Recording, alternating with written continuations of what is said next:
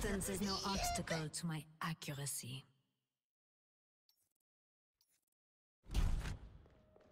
I aim to devastate.